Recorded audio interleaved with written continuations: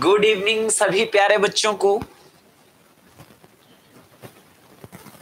क्या मेरी voice clear है?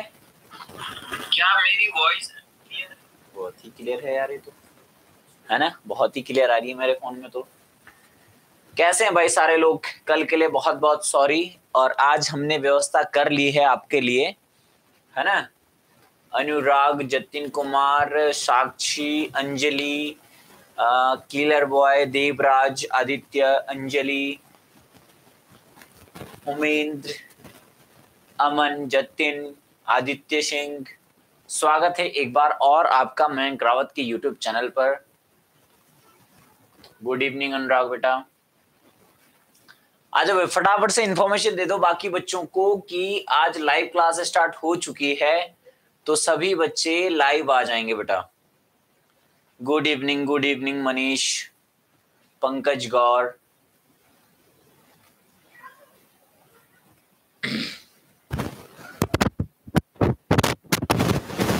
good evening good evening Luv Yadav Aman Prajapati बेटा सारे बच्चे सुन लेंगे ध्यान से। आ, इस सीरीज़ की हमारी लेक्चर टेन है ये। और लेक्चर टेन से पहले भी थर्टी वन लेक्चर जो दूसरे चैनल में हुए हैं। वो भी आपको देखने कंप्लीट कोर्स के लिए दस लेक्चर इस चैनल पे भी हो गए यानी थर्टी वन आपके हुए हैं इंडियन रोज़गार जिसका नामकरण भी चेंज कर दिया है हमने आ, किस नाम से? डिफेंस शिक्षा नाम से ठीक है? थर्टी वन लेक्चर डिफेंस शिक्षा में है है ना? डिफेंस शिक्षा में है।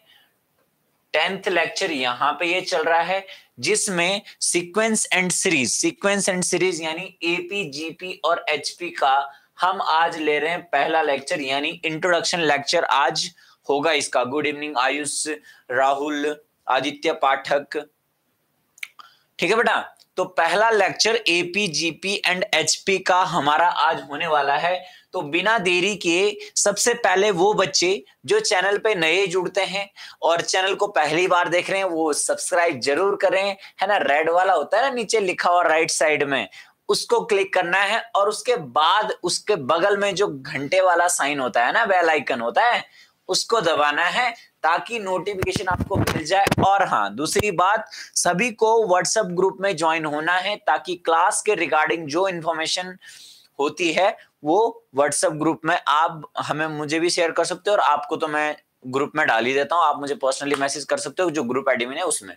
ठीक है?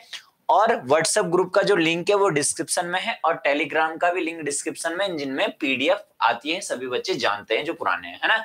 तो जो भी बच्चे नए आते हैं रिकॉर्डिंग देखते हैं तो उनको व्हाट्सएप ग्रुप में और टेलीग्राम ग्रुप में जुड़ना ज़रूरी है। ठीक है बेटा? तो आप सभी बच्चे हेडिंग डाल लेंगे एपी जीपी एंड एचपी ठीक है? एपी का मतलब अर्थमेटिक प्रोग्रेशन जीपी का मतलब ज्योमेट्रिक प्रोग्रेशन और एचपी का मतलब होगा आपका हार्मोनिक प्रोग्रेशन समांतर श्रेणी, गुणोत्तर श्रेणी और हरात्मक श्रेणी इनका नाम हो गया। ठीक है बेटा? तो टेंथ तक तो एपी भी थी, है ना? इलेवेंथ में एपी जीपी जीपी भी पढ़ी हमने। अच्छा देखो एपी में एपी में क्या होता है? गैप सेम होता है। क्या होता है? गैप सेम होता है। पहले हल्का सा नॉलेज दे रहा हूँ उसके बाद डिटेल में चलता है ना। हल्का सा जो आप अंदाज़ा लगा सकते हो कि सीक्वेंस एंड सीरीज़ में AP GP HP killer boy बोल रहे हैं। आ, सर कल हा क्या? बहुत खराब क्लास हुआ था। क्लास हुई कहाँ कल? जो खराब हुई थी। कल कहाँ हुई class Kavita Yadav good evening बेटा। ठीक है? देवराज बोल रहे हैं नॉन मैथ स्टूडेंट हूँ। कोई बात नहीं बेटा बिल्कुल ज़ीरो से चलेगा ठीक है? सर ये चैप्टर मेरा थोड़ा वीक है आ, पर मुझे भरोसा है कि आपके साथ स्ट्रांग हो जाएगा। ऑफकोर्स हो जाएगा hundred percent guarantee hundred percent guarantee maths की हंड्रेड परसेंट गारंटी किसी भी चैप्टर की। इसकी तुम्हें चिंता करनी नहीं है बस देखते जाओ तुम क्लासेस हमारी फोर्टी वन क्लास एक्चुअल के हिसाब से फोर्टी वन क्लास ये चल रही है है ना? क्योंकि थर्टी वन दूसरे चैनल पे चली थी और ये यहाँ पे टेंथ हम पहुँच चुके हैं। ठीक है बेटा? चलो, जो भी बच्चे नए जुड़ते हैं, वो ज़रूर व्हाट्सएप ग्रुप और टेलीग्राम में जुड़ जाना, जो कि डिस्क्रिप्शन में, ठीक है? गैप सेम होने का मतलब जैसे मान लो टू फाइव एट इलेवन इनमें क्या है? तीन का गैप है। ठीक है? एग्ज़ाम्पल सिंपल से एग्ज़ाम्पल से पहले समझो, फिर डिटेल में बताता हूँ इसकी। ठीक है बेटा? फिर डिटेल ज़रूर बताऊँगा, पक्का हंड्रेड परसेंट जीपी में यहाँ पे कॉमन डिफरेंस होता है। यहाँ पे कॉमन रेशियो होता है। अगर एक दो है, दूसरा चार है, दूसरा आठ है, सोलह है है ना? तो यहाँ पे क्या हो रहा है? चार बटे दो दो। कॉमन डिफरेंस आ रहा है दो, है ना? आठ बटे चार, दो। और सोलह बटे आठ, दो। और यहाँ पे डिफरेंस तीन तीन तीन। यहाँ पे होता है कॉमन डिफरेंस यहाँ पे होता है आपका क्या? कॉमन रेशियो ठीक है? अभी डिटेल में एपी भी पढ़ेंगे, फिर जीपी भी पढ़ेंगे, फिर एचपी भी पढ़ेंगे। एचपी क्या होता है? ये तुम्हारे लिए थोड़ा नया हो सकता है या आज तक समझ नहीं आया होगा। ठीक है बेटा? तो ध्यान से मेरी बात सुनेंगे। अगर दो, पाँच, आठ, ग्यारह, दो, पाँच, आठ और जो ग्यारह है, ये किसमें था बेटा? एपी में था। तो one by two comma one by five comma one by eight comma one by eleven GP में होगा। इसी को जीपी बोलते हैं। यानी एपी को जब रिवर्स कर देते हैं one by one by one by one by करके, यानी इसके डिनोमिनेटर्स इसके डिनोमिनेटर्स किसमें होने चाहिए बेटा?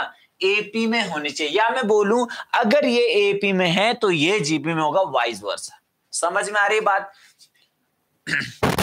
होगा? ये जीपी नहीं सॉरी ये क्या होगी? एचपी होगी। ठीक है बेटा? एचपी होगी। समझ रहे हो? देखो, ध्यान से सुनो मेरी बात। क्या बोल रहा हूँ मैं? मैं बोल रहा हूँ कि अगर ये दो, पाँच, आठ, ग्यारह यहाँ पे मैंने क्या ले रखी थी? एपी ले रखी थी। तो उसका रिवर्स यानी one by two one by five one by eight और वन बाई इलेवन आपकी क्या होगी? जीपी होगी। ठीक है?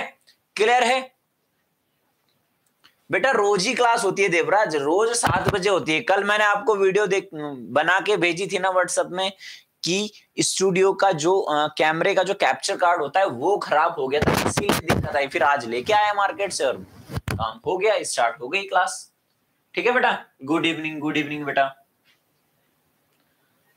कामरान खान सर, मैंने आपको कॉल किया था। बिल्कुल क्या होगा बेटा? काफ़ी बच्चों का कॉल आता है है ना?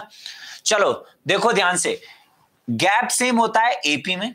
और कॉमन रेशियो सेम होता है जीपी में, और एपी की ही फॉर्म जीपी होती है जब उसको रिवर्स कर देते हैं one by one by one by करके। बहुत सिंपल सा एक जवाब ये था एपी जीपी एंड एचपी का। ठीक है बेटा? ठीक है? ध्यान से आपको ये डिटेल देखनी है। अब एपी जीपी का जो वेटेज है, वो तीन से तीन से पाँच क्वेश्चन आता है एनडीए में। ठीक है, तीन से पाँच क्वेश्चन एनडीए में आता है तो आपको डिटेल अच्छे से ध्यान से समझनी है। अगर पाँच क्वेश्चन आ गए तो five into two point five ढाई मार्क्स का हर एक क्वेश्चन होता है, पच्चीस पंजे एक सौ पच्चीस, बारह पॉइंट पाँच नंबर जेब में है। क्योंकि ये चैप्टर ये चैप्टर है बहुत इजी क्या है? बहुत इजी आसान है। समझ रहे हो ना? ये पढ़ने के बाद आसान होता है। बिना पढ़े तो कुछ भी आसान नहीं होता ना, तुम सब जानते हो अच्छे से। ठीक है बेटा? अच्छा कॉल पे आवाज़ ड्राउनी लग रही थी। चलो बेटा, आते हैं अब डिटेल में, पढ़ते हैं हम अर्थमेटिक प्रोग्रेशन। यानी हम पढ़ने वाले अर्थमेटिक प्रोग्रेशन, यानी एपी एपी यानी समांतर श्रेणी। क्या होगी बेटा? हेडिंग डाल लेंगे सभी बच्चे, समांतर श्रेणी। कोशिश करा करो कि ज़्यादा से ज़्यादा लिखने, लिखते रहा करो। जब मैं पढ़ा रहा होता हूँ, आपको इंट्रोडक्शन भी देता हूँ तो लिखते रहा करो, ठीक है? ठीक है बेटा? लिखते रहा करो डिटेल में, ठीक? देखो, ध्यान से मेरी बात सबसे पहले सुनोगे, सबसे पहले मैं इसे ऐसी बता देता हूँ आपको डिटेल एपी की अगर बात करूँ, ये वाली लाइट एपी की अगर मैं बात करूँ, समांतर श्रेणी की बात करूँ तो सिंपल जो एपी अगर मान लो है कोई तो यहाँ पे मैं लिखूँगा A one A two A three है ना? A four dot dot dot dot dot dot ये क्या है? वन टू थ्री फोर चल रहा है। कहाँ तक मान लो? एन तक नेचुरल नंबर चल रहा है। ठीक है? ये आपका हो गया फ़र्स्ट टर्म ये आपका हो गया first term second term third term fourth term इस तरीके से चला, है ना? फोर्थ टर्म तक चला। तो जो फ़र्स्ट टर्म है, ध्यान से समझने बेटा। फ़र्स्ट टर्म इसको या ए बोलो या फिर ए वन बोलो, एक ही बात है। ए बोलो या ए वन बोलो, ध्यान से समझना। नटवर सिंह राठौर गुड इवनिंग ठीक है बेटा? ए वन ठीक, अब दूसरी चीज़ second term a two third term a three fourth term clear है इतना? ये इसमें कुछ भी नहीं था समझने के लिए ज़्यादा। अब देखो, अब ध्यान से देखो बेटा। एक होता है कॉमन डिफरेंस कॉमन डिफरेंस क्या होता है? कॉमन डिफरेंस हिंदी में इसे बोलते हैं सार्व अनुपात हिंदी में क्या बोलते हैं बेटा? सार्व अनुपात सार्व अनुपात हम इसे हिंदी में बोलते हैं। ठीक? सार्व अनुपात का मतलब हो गया डिफरेंस किसका? दो कॉन्जिक्यूटिव टर्म्स का। यानी a two minus a one हम इसे बोल सकते हैं। ए थ्री से ए टू घटाएँगे तो भी कॉमन डिफरेंस आएगा। ऐसे डॉट डॉट डॉट डॉट कोई भी दो जो टर्म्स हैं उनका डिफरेंस जब आप लोगे, ठीक है?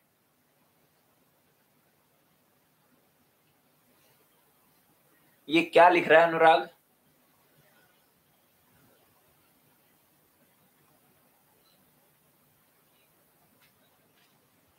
ब्लर हो रहा है? ब्लर नहीं हो रहा है बेटा, वहाँ से हो रहा होगा, वहाँ से आपके नेटवर्क की प्रॉब्लम है, कोई ब्लर नहीं है। क्लियर है एकदम? एकदम क्लियर है।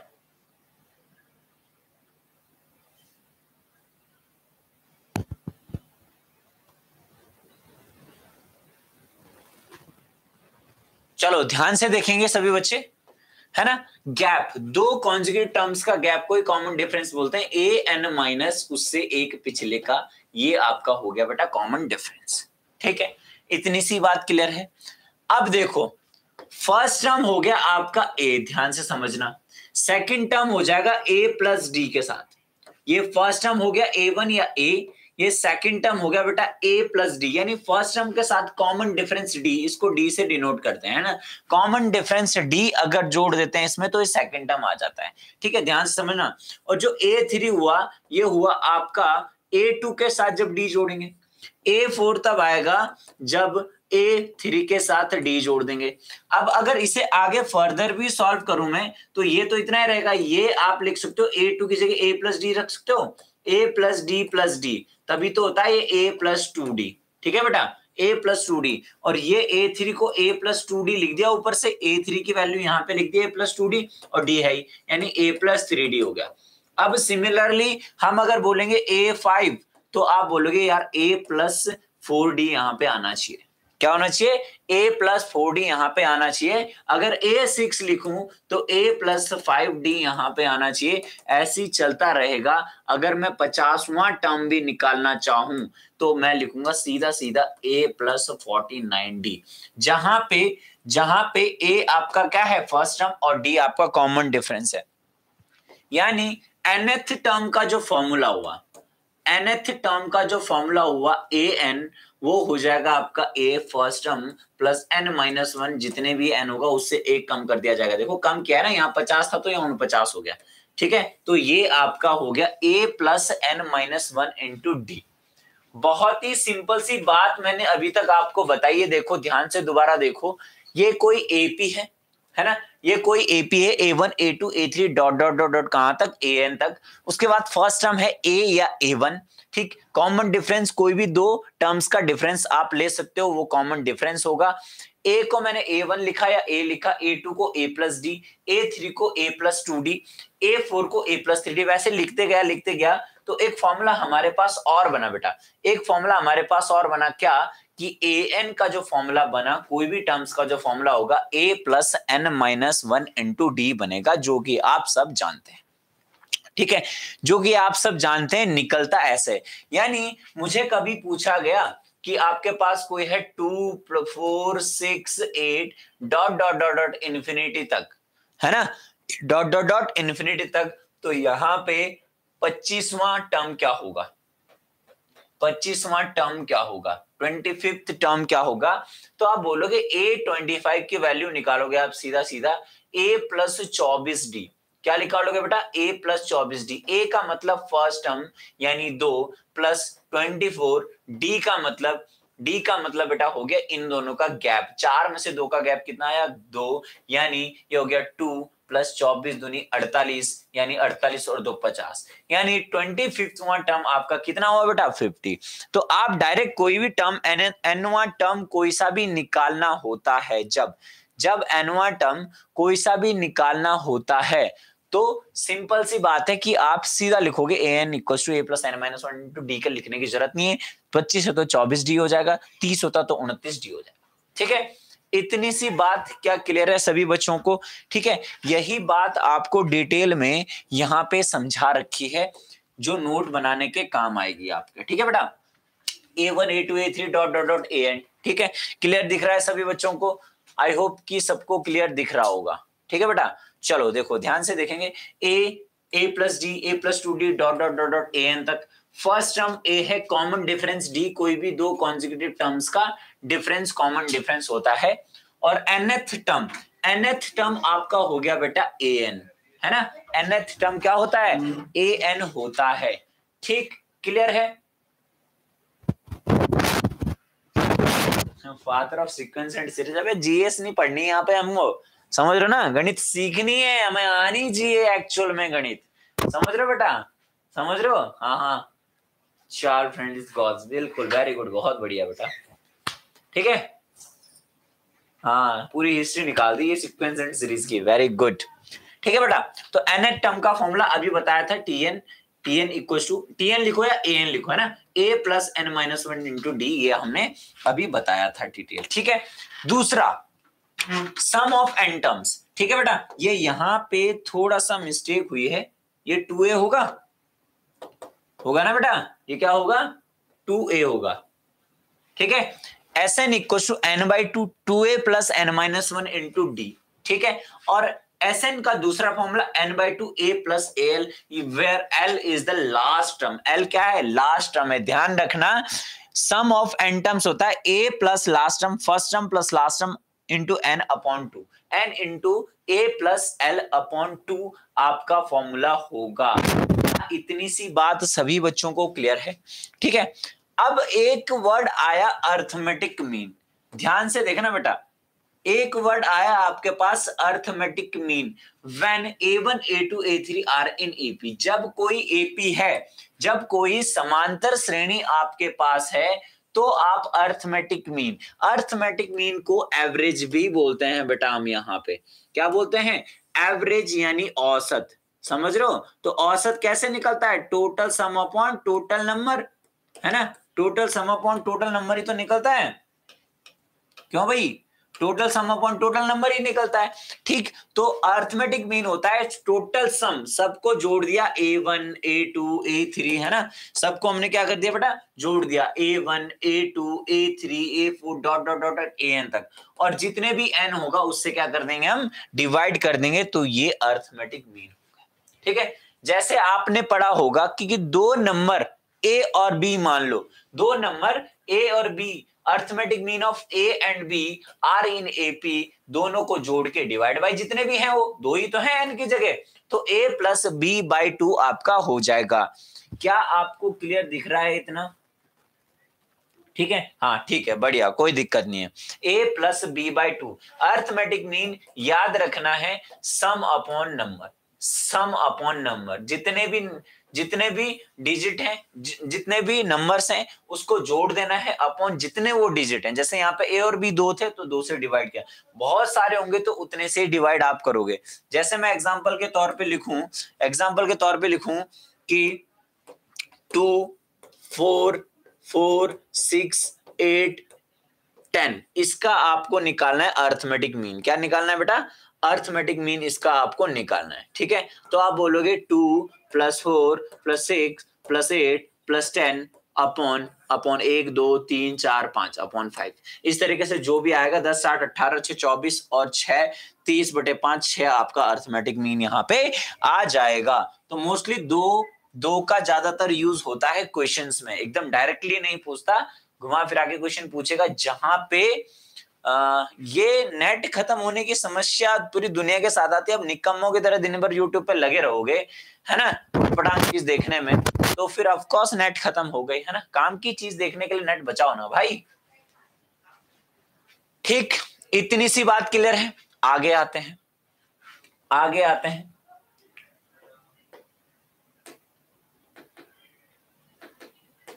ठीक है। If three number if three number are in AP अगर तीन नंबर किसमें होता है बेटा? एपी में होते हैं। तो तीन नंबर एपी में तो जो एज्यूम करने की आपका तरीका होता है, आप ऐसे लिख सकते हो ए ए प्लस डी और ए प्लस टू डी एक तरीका तो ये है आपका, है ना? जब तीन नंबर होगा तो फ़र्स्ट ये, उसके साथ डी जोड़ोगे ए प्लस टू डी ये तो हमने बताया था, ये इंट्रोडक्शन में चला था। लेकिन जब क्वेश्चन करना होता है तो दिक्कत ना हो, इसके सम भी करना पड़ता है कभी। तो यहाँ पे ये लिया करो, ये यहाँ पे मिस्टेक हो गई। ए माइनस डी ए और ए प्लस डी ये आप लिया करो ताकि वहाँ पे क्वेश्चन करने की सहूलियत हो। अभी आप डिटेल देखते जाओ और नोट बनाते जाओ साथ साथ ठीक है? पीडीएफ भी आपको मिल जाएगी नो वरी बट जो हैंड रिटन नोट्स में बात होगी ना, वो किसी में नहीं होती। आपको अपने हैंड रिटन नोट्स बनाने ही पड़ेंगे अदर ऑप्शन ही नहीं है। समझ रहे हो? एनडीए अगर निकालना है बेटा ना एनडीए निकालना है ना, शेर के मुँह से कुछ निकालना हो गया, इतना जिगरा आपके पास होना चाहिए, इतनी हिम्मत पेशेंस आपके पास इतना होना चाहिए डिफेंस में जाने के लिए कि मतलब कोई आपका हौसला तोड़ ना पाए, है ना? ऐसे ऑफिसर थोड़ा बना देंगे। समझ रहे हो ना? मैंने बचपन से जब से मैंने होश संभाला है, ट्वेल्थ के बाद मैंने तब से टीचिंग का सोचा कि मैं पढ़ाऊँगा बस, ठीक है, और मैं पढ़ा ही रहा हूँ। तो उसके लिए भी ये होना चाहिए कि यार टीचर बनना है मुझे, अगर तो मुझे ये कुछ करना पड़े, किसी भी काम को आपको लाइफ में करना है। लाइफ में, ध्यान से मेरी बात एक सुनना, कोई भी आप काम करो, कोई भी करियर हो, कोई भी करियर हो, उसको बनाने के लिए आपको रखना है पेशेंस सबसे ज़्यादा आपको पेशेंस रखना है धैर्य. ठीक है? और उस काम को पाने के लिए पहली चीज़ टाइम मैनेजमेंट टाइम मैनेजमेंट का मतलब मेरा यहाँ पे यह है कि आपका टाइम फिक्स्ड होना चाहिए हर काम करने का.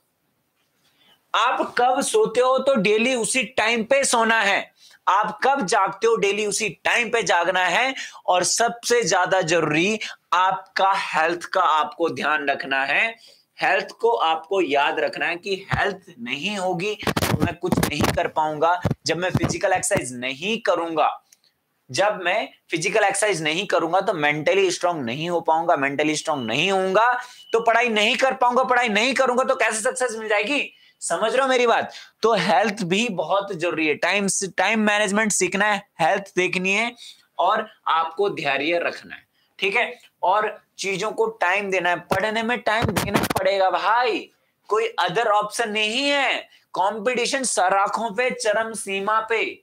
समझ रहे हो? चाहे मैं अपनी बात करूँ टीचिंग लाइन में, चाहे किसी बच्चे के अंडे निकालने के लिए बात करूँ, या फिर किसी के लिए भी आपको आपको दूसरों को रौंद के आगे बढ़ना पड़ेगा। और अगर दूसरों को रौंद के आप आगे नहीं बढ़े तो आपको कुचल दिया जाएगा, कोई और आपको रौंद के चला जाएगा। है ना? इसीलिए इतना पढ़ना है, इतना पढ़ना है। हर चीज़ होनी चाहिए, सिर्फ़ पढ़ने के पीछे पागल नहीं होना चाहिए। आपको टाइम से हर चीज़ करना है। समझ रहे हैं जो भी करना है। आपके एक दिन में आपके पास, एक दिन में बेटा 24 घंटे होते हैं। ध्यान देना मेरी बात का। एक दिन में 24 घंटे होते हैं। ठीक है? आप एक दिन में 24 घंटे होते हैं तो ध्यान दो यहाँ पे। मान लो दो घंटे आप डेली मूवी भी देखोगे ना तो भी चल जाएगा। ठीक है? दो घंटे मूवी भी देखोगे, दो घंटे, तीन घंटे खाने में वेस्ट करोगे, ठीक है? दो घंटे घर वालों ने काम बोल दिया, उसमें भी वेस्ट करोगे, ठीक है? आठ घंटे आप सोगे, उसमें भी वेस्ट करोगे। ठीक है, तभी भी कितने दो और तीन, पाँच और दो, सात और आठ, पंद्रह घंटे हुए बेटा अभी। अभी तो रुको जरा, नौ घंटे बाकी हैं, नौ घंटे बाकी हैं, और मैं इसमें से बोल रहा हूँ कि ठीक छह महीने तक, सिर्फ़ छह मंथ आपको क्या करना है? पाँच घंटे इसमें से निकालना है, चार घंटे जो मर्ज़ी करो। पाँच घंटे सेल्फ स्टडी करो और क्लास भी लेनी है। सेल्फ स्टडी ये पाँच घंटे सेल्फ स्टडी करनी है। हर किसी को करनी है। जो थोड़ा एक्स्ट्रा टैलेंटेड है। एक्स्ट्रा टैलेंटेड का मतलब कि जिसको लगता है बहुत अच्छा कर सकता हूँ मैं, कम घंटों में ना, फिर जल्दी करो आप। भाई, छह महीने में जॉब निकालो आप। पाँच घंटे मिनिमम है छह महीने में जॉब निकालने के लिए। ठीक है, आप तीन घंटे पढ़ोगे तो आपको एक साल लग जाएगा। डेढ़ साल भी लग सकता है। दो साल भी लग सकता है, तब तक एज एनडी की खत्म। इसीलिए पाँच से छह घंटे आपको निकालना पड़ेगा एक्स्ट्रा एफर्ट डालने के लिए आपको एक्स्ट्रा जितना मर्ज़ी पढ़ लो, ये आप रखो मिनिमम में। किसमें रखो बेटा? मिनिमम में। क्योंकि आपसे धांसू बहुत बैठे हैं, जो खुद को समझदार समझते हैं आईक्यू लेवल टॉप पे रखने की कोशिश करते हैं कि मेरा तो आईक्यू लेवल बहुत अच्छा है, मैं पाँच नहीं, सर ने पाँच बोला था, मैं तो तीन घंटे पढ़ के निकाल लूँगा और ये एटीट्यूड मार के रह गया। क्योंकि आसपास के लोग कितने आप आप कितनों को जानते हो? कितनों को आप जानते हो?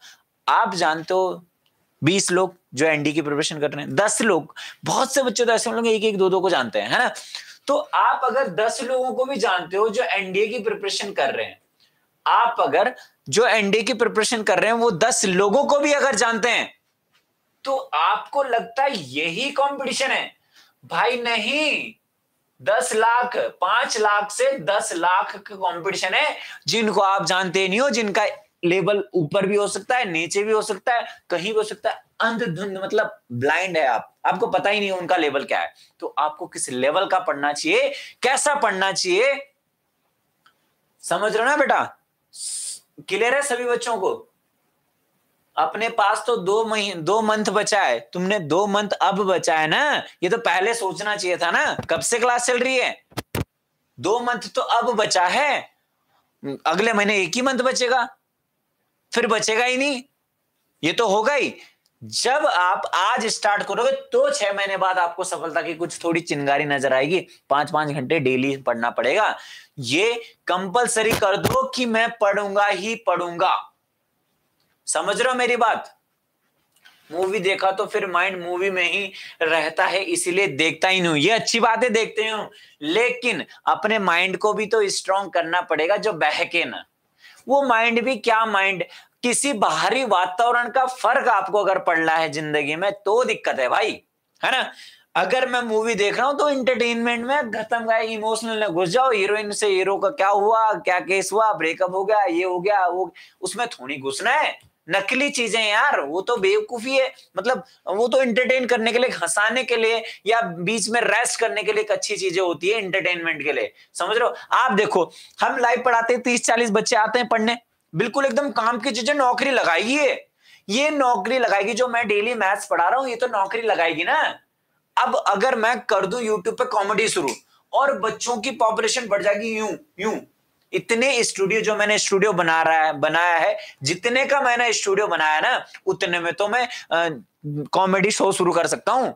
जितने में मैंने सिर्फ़ ये स्टूडियो बनाया ना तुम्हें फ्री में पढ़ाने के लिए, उतना कॉमेडी शो में अगर मैं चार खिले, उनको भी लू ना, जो कॉमेडी करने वाले होंगे आर्टिस्ट डायरेक्टर बन जाऊँ, उतने में। छोटा सा, छोटा से शुरू करूँगा दो दो मिनट की वीडियो चार चार मिनट की वीडियो के लिए यूट्यूब में ऐसे बूम करे जाएगा क्यों? क्योंकि वो फालतू की चीज़ है। उसमें ज़्यादा इंटरेस्ट लोग लेते हैं। अब एक बात मेरी ध्यान से सुनना। अगर किसी के स्कूल में क्लास में पचास बच्चे हैं, कितने बच्चे हैं? पचास बच्चे। आपको क्या लगता है? डाटा उठा के देख लेना किसी भी स्कूल का। इन पचास बच्चों में से कितने ऑफिसर लायक होते हैं? कितने ऑफिसर लायक होते हैं? मा पचास में ना एक भी नहीं होता कभी कभी तो। कहीं कहीं एक होता है बस। है ना? मान लो 500 में से दो ऑफिसर लायक होते हैं। 500 में से दो ही ऑफिसर लायक होंगे। हज़ार में से होंगे या तो पहले तो। तो मान लो एग्ज़ाम्पल के तौर पे 500 में से दो ही लायक हैं। 500 में से दो ही लायक हैं। तो ये जो चार सौ अट्ठानवे है ना, ये देखते हैं कॉमेडी यूट्यूब पे, और ये दो लोग देखते हैं रावत सर की मैथ्स की क्लास समझ रहे हो बेटा? यानी जो भी बच्चे अभी लाइव देख रहे हैं ना, तुम इन दो में से हो। इन दो में से हो तुम। पर जो कंटिन्यू रहता है वो। समझ रहे हो मेरी बात?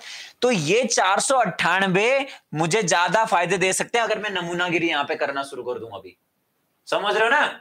इसीलिए ध्यान रखना है। इन दो में भी आगे बढ़ना पड़ेगा बेटा। ऐसे दो दो दो दो करके ना बहुत हो जाएँगे। समझ रहे ना? दो दो करके क्या हो जाएँगे? बहुत हो जाएँगे ये। इनके साथ भी कंपटीशन करना है। चार सौ अट्ठानवे को तो हटाना है ये तो है, बने ही कॉमेडी देखने के लिए। यूट्यूब में कॉमेडी देख देख के डाटा खत्म कर देंगे, शाम को क्लास पढ़नी है। अब डाटा नहीं है, अब ये नहीं है, अब वो नहीं अबे बचा के रखो ना, उसी के लिए डाटा बचा के रखो जो काम की चीज़। है ठीक है? मूवी देखने में उठपटांग चीज़ें देखने में क्यों टाइम वेस्ट करते हो यार? ठीक है? क्लियर है?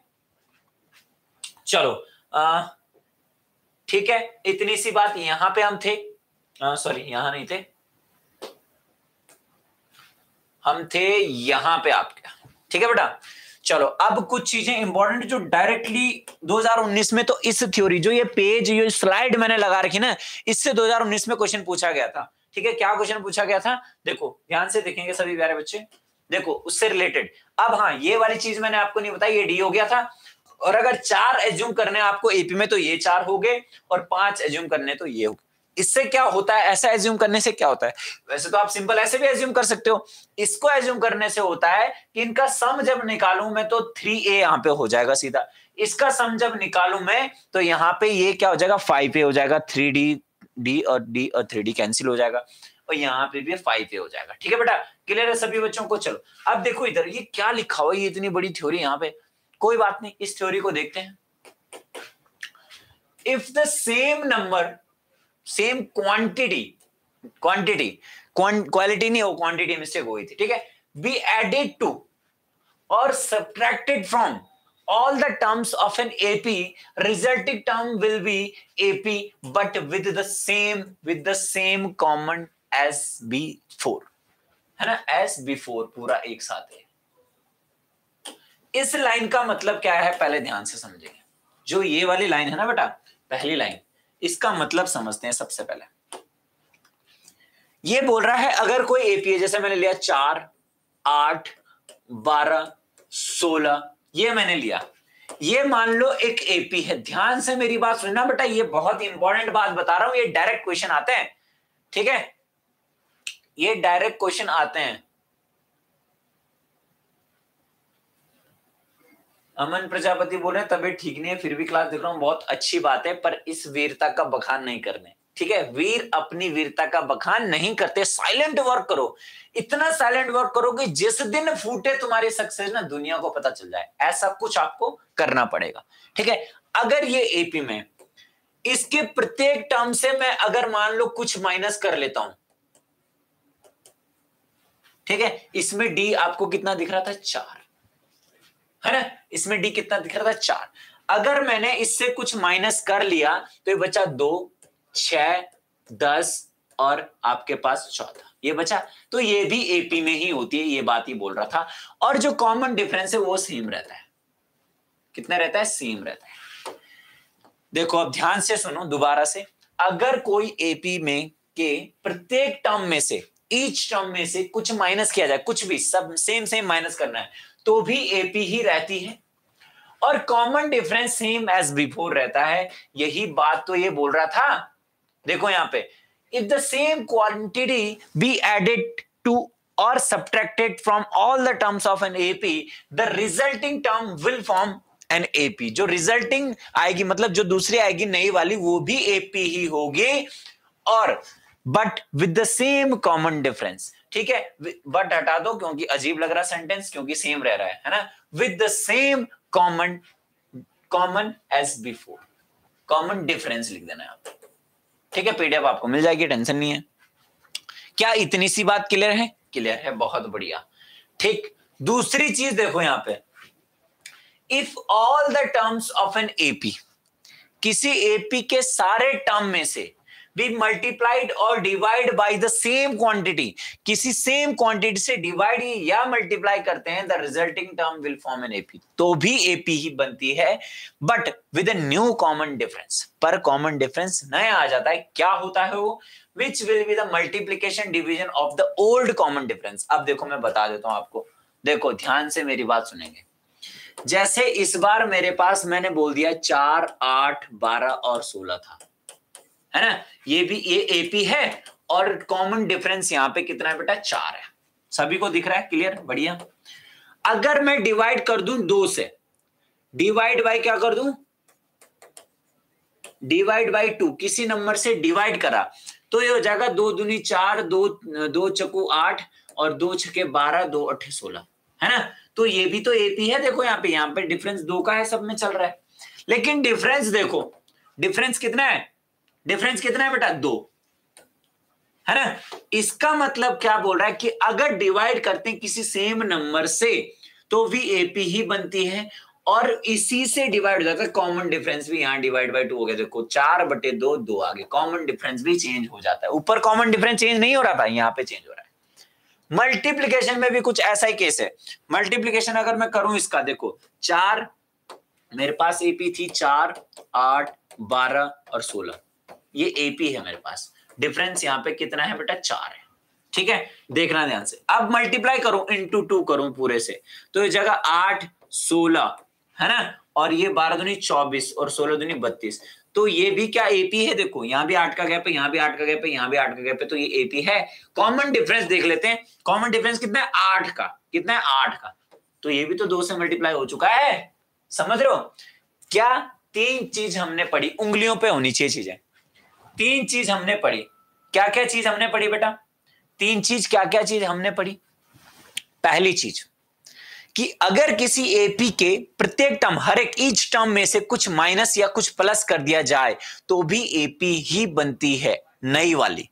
और कॉमन डिफरेंस भी सेम रहता है। एपी बनेगी कॉमन डिफरेंस भी उतना रहेगा जितना था।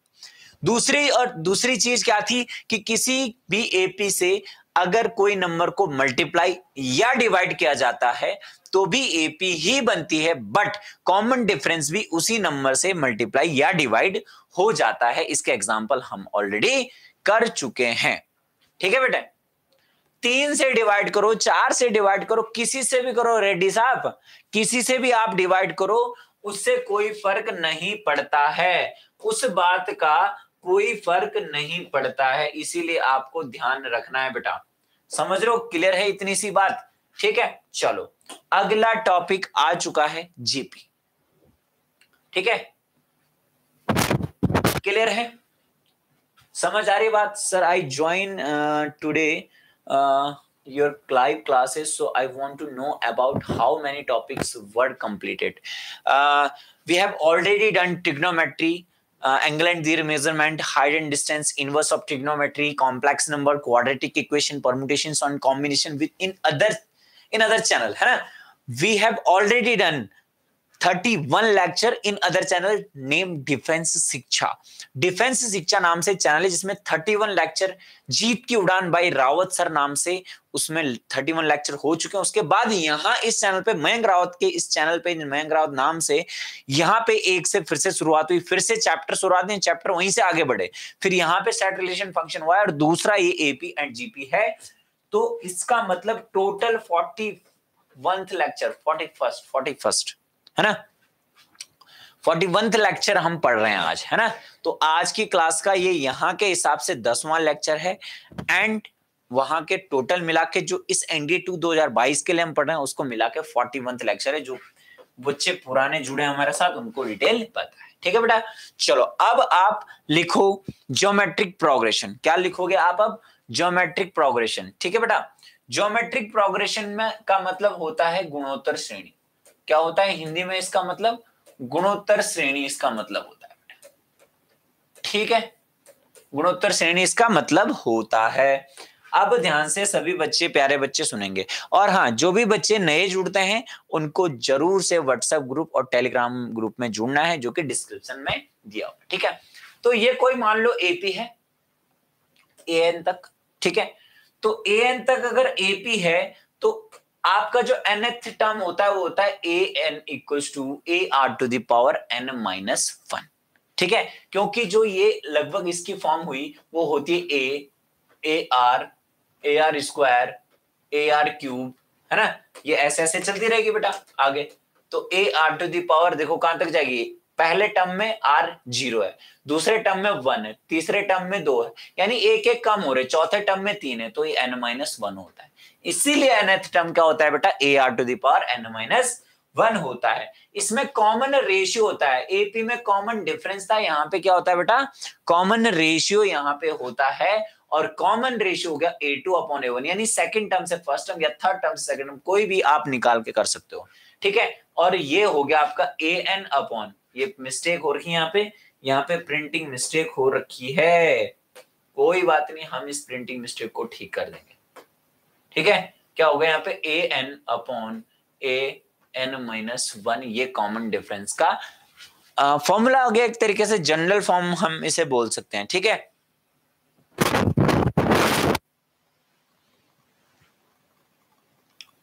कंप्लीट ठीक से लिखो। क्या बोलना चाह रहे रेड्डी साहब?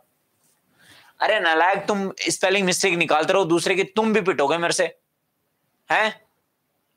यहाँ पिटने का ऑप्शन तो है नहीं ब्लॉक मारने का ऑप्शन है मेरे पास, बस। दूसरों के कमेंट पे कोई कमेंट नहीं करेगा। ठीक है ना?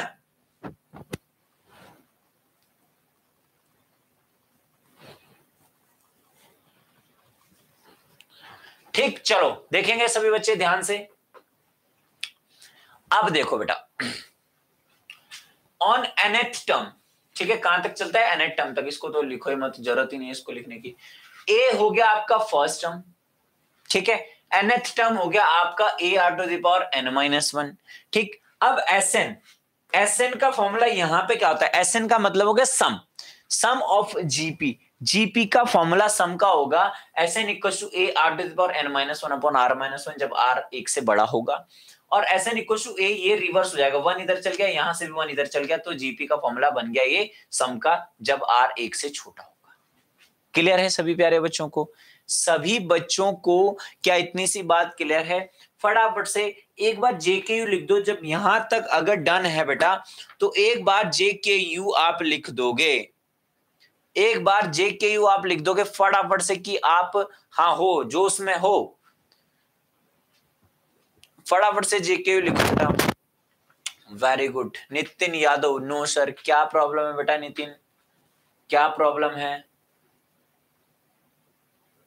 व्हाट्सएप में जीएटी के क्वेश्चन डाल दो बेटा। दुनिया भर की जीएटी के क्लासेस चल रही होती है देश, दुनिया में। मेरे से गणित के मांगा करो ना तुम। सोनू वर्मा जेके जेके जेके वेरी गुड बहुत बढ़िया। वंस अगेन नितिन यादव बोल रहा है वंस अगेन गाना चल रहा है ना वंस अगेन चलो देखो ध्यान से।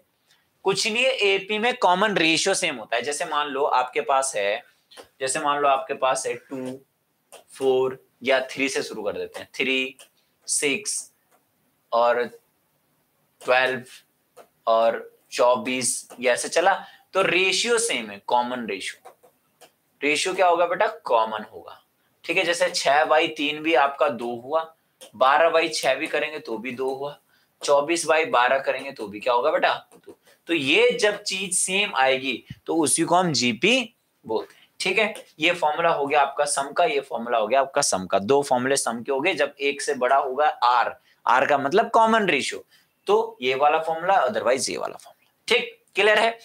अब a b are in GP then geometric mean GM का मतलब क्या हो गया बेटा? ज्योमेट्रिक मीन हो गया है। क्या हो गया? ज्योमेट्रिक मीन ये कैसे आता है सर ये ऐसे आता है सर देखो कैसे आता है बेटा। देखो बेटा कैसे आता है।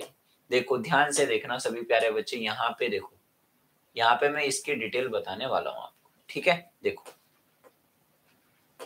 अगर ए और बी और सी है तीन नंबर, इनका मुझे ज्योमेट्रिक मीन निकाल मीन का मतलब ही होता है बीच का। मीन का मतलब क्या होता है? बीच का। या फिर अगर यहाँ पे निकालना है तो बीच के हिसाब से बी की वैल्यू निकलेगी ए सी की फॉर्म में। वो होगी रूट ऑफ़ ए सी ठीक है? देखो, ध्यान से देखो। आप लिख सकते हो कि बी बाई ए आर निकाल सकते हैं ऐसे। ये आर निकालने का तरीका बी बाई ए और यही तरीका होगा सी बाई बी का भी। होगा सी बाई बी का भी। अब ये दोनों सेम है अगर तो आप इसे लिख सकते हो b square equal to a c b square equal to a c लिख सकते हो? यानी बी की वैल्यू आ गया आपकी रूट ऑफ़ ए सी समझ में आ रही बात? रूट ऑफ़ ए सी इसीलिए दो नंबर जैसे ए और सी का जो होगा वो रूट ऑफ़ ए सी होगा। ए भी होगा वहाँ तो रूट ऑफ़ ए भी हो गया। बहुत सारे हो गए तो nth root of a one a two nth का मतलब जैसे यहाँ पे यहाँ पे तो दो है ना, इस रूट का मतलब यहाँ पे क्या होता है? ट्वाइस रूट ऑफ़ अगर तीन नंबर होंगे तो थ्राइज रूट ऑफ़ होगा। समझ लो जैसे मैं बोलूँ कि इसका अर्थमेटिक निकालो। टू थ्री और फाइव है ना? टू थ्री और ट्वेंटी फाइव इसका इसका ज्योमेट्रिक मीन मुझे निकालना है। तो आप बोलोगे, सर क्यूबिक रूट ऑफ़ दो गुना तीन गुना पच्चीस। आप बोलोगे क्यूबिक रूट ऑफ़, तीन है ना, इसलिए यहाँ पे तीन आया। चार होते तो यहाँ पे चार आता। तो आप बोलते पच्चीस या पिछहत्तर दूने डेढ़ सौ। है ना? डेढ़ सौ होता तो डेढ़ सौ का क्यूबिक रूट आप निकालते हैं। डंडे खींच के निकालते या उसका होता आप। समझ रहे हो ना? इतनी सी बात के लिए, या इसको अगर बनाने योग्य बनाना है तो आप बोल सकते हो नौ गुणा नौ गुणा नौ, है ना? तो नौ गुणा नौ का क्यूबिक रूट कितना हो जाएगा बेटा? कितना हो जाएगा? नौ गुणा नौ का क्यूबिक रूट डायरेक्ट लिख सकते हम कितना? नौ हो गया। तो ये आपका आंसर हो जाएगा। समझ में आ रही बात? अगर ये नहीं होंगे नंबर तो मतलब ऐसा नंबर आएगा जो क्यूबिक रूट निकालना उसका पॉसिबल होगा। नहीं होगा तो फिर डंडे खींच के आप सभी को पता है ऐसे ऐसे करके निकल जाता है। ठीक है, आसान सी बात थी। अब ये क्या बला है? ये क्या चीज़ हमारे सामने आ चुकी है ये? है ना? देखेंगे ध्यान से बेटा सभी बच्चे इसे।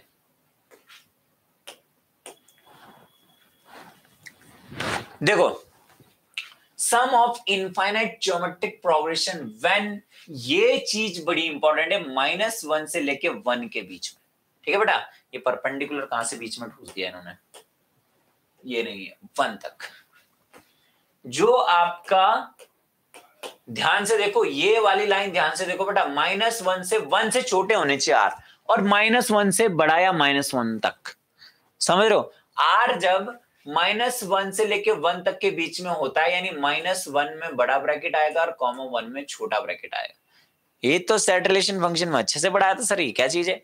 मतलब यह है कि माइनस वन इंक्लूड है आर जब माइनस वन होगा तो भी इंफिनिटी का ये फॉर्मूला लगेगा और वन से छोटे कोई भी होगा, जैसे हाफ़ हो गया माइनस हाफ़ हो गया ज़ीरो पॉइंट फाइव हो गया, समझ रहे हो? ये चीज़ें होगी तो आप इन्फिनिटी का डायरेक्ट फॉर्मूला लगाओगे s infinity equal to a upon one minus r जहाँ पे ए हो गया आपका फ़र्स्ट टर्म ए हो गया आपका फ़र्स्ट टर्म और आर हो गया आपका कॉमन रेशियो आर क्या हो गया बेटा आपका? कॉमन रेशियो क्या इतनी सी बात सभी बच्चों को क्लियर है? क्या इतनी सी बात सभी प्यारे बच्चों को क्लियर है? बिल्कुल क्लियर है। अब देखो, आगे बढ़ते हैं। आगे बढ़ते हैं। If all the terms of a GP किसी जीपी के सारे टर्म्स बी मल्टीप्लाइड और डिवाइडेड बाई एपी की तरह केस आ गया सेम अगर मल्टीप्लाई या डिवाइड करते हैं ऑफ़ सेम क्वांटिटी किसी एक क्वांटिटी से the resulting term will be a GP तो नई वाली जो जीपी बनेगी, नई वाला जो टर्म बनेगा, वो भी किसमें होगा? जीपी बनेगा। If r is greater than one तब इन्फिनिटी का फॉर्मूला नहीं बता सकते आप। अगर मैं बोलूँ कि ग्रेटर देन वन यानी टू फोर सिक्स एट इसकी infinity sum in sum of infinity कैसे निकाल दोगे? सम नहीं निकाल सकते ना? इसी वजह से, ठीक है बेटा? चलो resulting term will be GP GP होता है same common ratio as before common ratio भी क्या रहता है सेम ये लर्न करना है आपको. Assuming three three teams teams नहीं बेटा terms terms of GP assume कर रहे होते हैं जब तो ये तो कॉमन सी बात है बट आपको ये लेना है a upon r comma a और ए क्योंकि इन दोनों का डिवाइड भी करोगे तो भी आर आएगा ना, देखो a upon a upon r ये आर ऊपर जाएगा ए से ए कैंसिल हो जाएगा तो भी कॉमन रेशियो आर होता है। तो इसलिए जब अपने आप से एज्यूम कर रहे होते हैं, इससे क्या फ़ायदा होगा कि जब इसका मल्टीप्लीकेशन करोगे तो ए क्यूब सीधा आपके पास आएगा आर से आर कैंसिल हो जाएगा ए क्यूब की वैल्यू आपको कुछ दे रखी होगी। ए क्यूब की वैल्यू आपको कुछ दे रखी होगी। क्लियर है सभी बच्चों को? ठीक है। फोर टर्म्स होगा तो आप ऐसे लोगे फोर टर्म्स हो गए तो आप एज्यूम ऐसे करोगे। कोई जीपी नहीं दे रखी बोल रहा कि चार जीपी कोई है तो आप इस तरीके से उसे लोगे। इतनी सी बात क्लियर है? बहुत बढ़िया। आगे बढ़ते हैं। अब आ गया भाई साहब हार्मोनिक प्रोग्रेशन क्या आ गया बेटा? हार्मोनिक प्रोग्रेशन आ चुका है। ध्यान से देखेंगे सभी प्यारे बच्चे। हार्मोनिक प्रोग्रेशन को बोलते हैं हरात्मक श्रेणी। हिंदी वाले जो भी हैं, नाराज़ ना हो। क्योंकि हिंदी का जमाना अब गया लगभग लगभग, क्योंकि अंग्रेज़ी आती है तो पढ़ना ही पड़ता है ऑप्शन नहीं होता हमारे पास। एनडीए निकालना है तो इंग्लिश भी आपको आनी चाहिए, हिंदी भी आपको आनी चाहिए, सब कुछ आपको आना चाहिए, क्योंकि क्योंकि, बिल्कुल बेटा, बिल्कुल बिल्कुल, क्योंकि आपको ऑफिसर बना रहे हैं। ठीक है बेटा क्लियर है? A one a two a three dot dot dot a n एक जीपी है। क्या है? एपी सॉरी क्या है? Are said to be HP हाँ एचपी भी ले सकते पहले एपी की तरह से जैसे मैंने समझा था वैसे भी कर सकते। एचपी है only when one upon a one one upon a two one upon a three are in AP समझ रहे हो ना? उसका रिवर्स मैंने पहली स्लाइड में बताया था पहली स्लाइड में मैंने बताया था कि अगर एपी ये है तो जीपी ये होगा अगर ये जी, जीपी ले ली तो सॉरी एचपी एचपी एच अगर ये एपी है तो उसका रिवर्स में क्या होता है? एचपी होता है। समझ में आ रही सभी बच्चों को बात? क्या इतनी सी बात क्लियर है? इतनी सी बात क्लियर है? ठीक है। अब एनएथ टर्म यहाँ का ऐसे याद करना है और हार्मोनिक मीन ऐसे याद करना है। एनएथ टर्म हो जाता है। एनएथ टर्म मतलब कौन सा टर्म निकालना है? ठीक है? तो one upon one upon a one plus n minus one into d लगभग लगभग ये नहीं लग रहा कि जैसे आपको एपी का रिवर्स करके दे दिया, है ना बेटा? एपी का रिवर्स करके दे दिया, है ना? ऐसा कुछ लग रहा है। और एच एम होगा आपका ये। N upon one upon a one मतलब एक्स वन जो भी, अगर x one x two x three है। ठीक है? तो बल्कि यहाँ ज़्यादा बेटर था कि आपको दे देना चाहिए था क्या? X one x two x three ठीक है ना? ए वन ए टू ठीक है?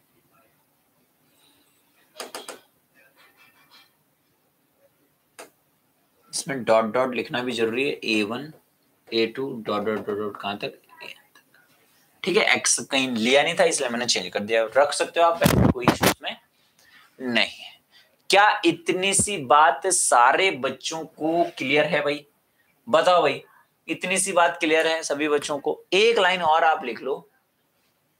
Relation between arithmetic mean geometric mean and harmonic mean arithmetic mean सबसे अगर कोई सेम नंबर लिया, उनका अर्थमेटिक भी निकाल दिया मीन और ज्योमेट्रिक मीन भी निकाल दिया हार्मोनिक मीन भी निकाल दिया तो अर्थमेटिक मीन सबसे बड़ा होगा, फिर ज्योमेट्रिक मीन होगा, और फिर हार्मोनिक मीन होगा। ठीक है? और एक फॉर्मूला ज्योमेट्रिक मीन का square equal to arithmetic mean into harmonic mean जहाँ पे arithmetic mean geometric mean mean are in GP condition है। जब किसी कोई नंबर्स का अर्थमेटिक मीन निकाला, ठीक है? और ज्योमेट्रिक मीन निकाला और हार्मोनिक मीन निकाला, तब वो जीपी में निकलते हैं। मान लो अर्थमेटिक मीन आपका निकला तीन ज्योमेट्रिक मीन निकला आपका नौ, और हार्मोनिक मीन आपका निकला बेटा सत्ताईस। तो ये किसमें है? जीपी में है। नौ बटे तीन भी तीन और सत्ताईस बटे नौ भी तीन, है ना? जीपी में है। तो हम बोल सकते हैं कि ज्योमेट्रिक मीन का स्क्वायर देखो नाइन का स्क्वायर क्या सत्ताईस गुणा तीन के बराबर है? तो ये भी इक्यासी हो रहा है, ये भी इक्यासी हो रहा है, इसका मतलब ये बात एकदम सही है। एकदम ये बात सही है, करेक्ट है, स्पष्ट है। ठीक है? क्या इतनी सी बात सारे बच्चों को क्लियर है? हाँ भाई, बताओ भाई, फटाफट से।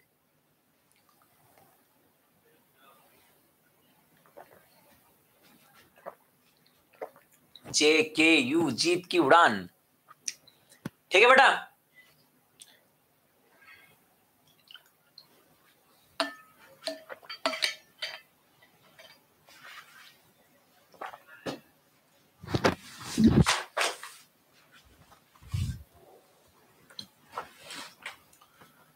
चलो, बहुत ठीक तो ये एक बार आज आप घर में जाके इसके नोट्स बना लोगे अच्छे से, है ना?